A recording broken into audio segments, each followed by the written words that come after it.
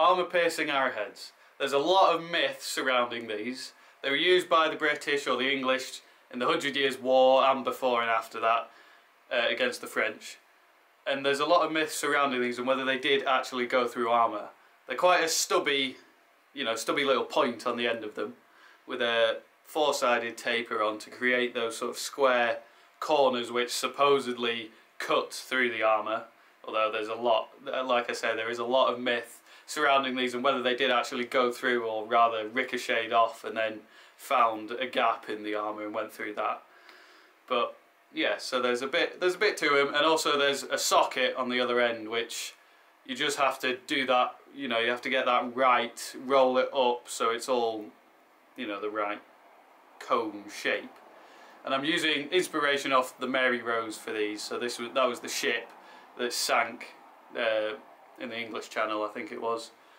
Uh, and there were loads of arrows and bows and things preserved on that, and in particular, lots of these bodkin, you know, armour-piercing arrowheads. So let's get on with it. To make these arrowheads, I'm going to use some 10mm bar, uh, and then create a 10mm socket on one end, and then the point on the other end.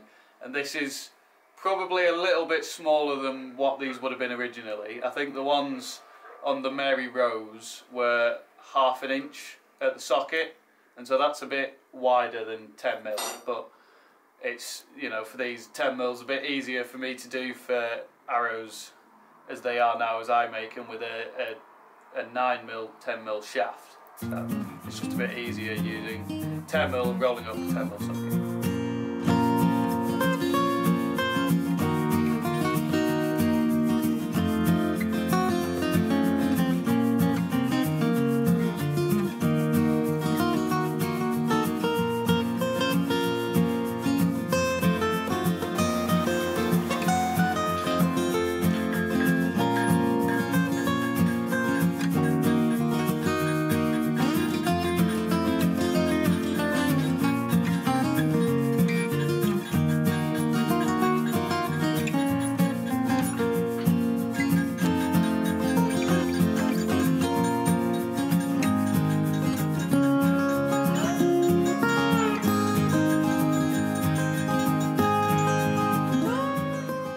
got this shape roughly forged out, I'm going to take an angle grinder to it and just cut it to the correct profile just to get it all nice and neat, ready to then be rolled up into that socket.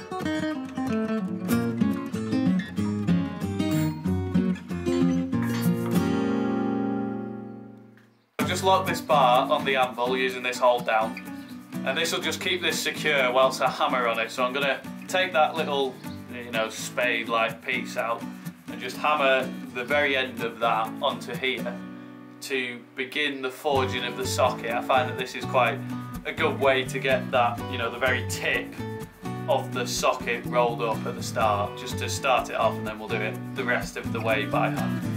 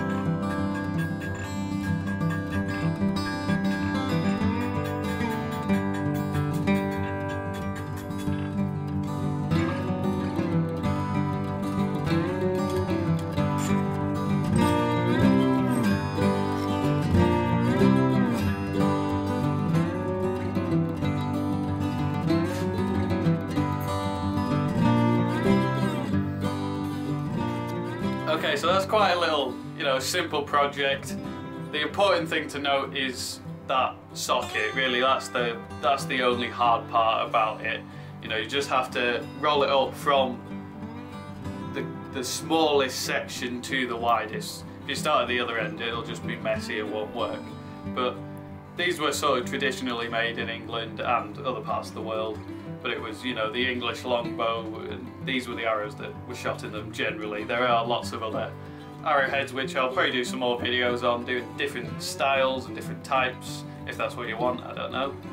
But I, I enjoy making this as this was sort of how I started in blacksmithing. The first ever thing that I made was a little copper arrowhead.